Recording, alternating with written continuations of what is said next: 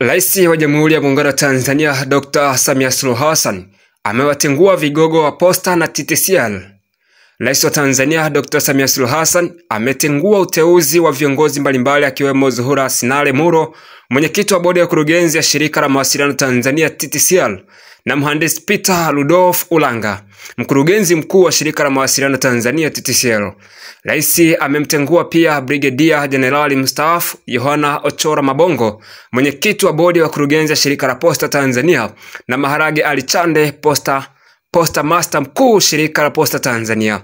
Wengine waliotenguliwa ni Profesa John Nkoma, mwenyekiti wa bodi ya mfuko wa mawasiliano kwa wote USAF, na Justina Tumaini Mashiba, afisa mtendaji mkuu mfuko wa mawasiliano kwa wote UCSAF. Rais Samia Suluhu Hassan ameamua kuwatengua vigogo hao katika mashirika hayo ya Posta na TTCL, lakini bila kusahau shirika la USCAF.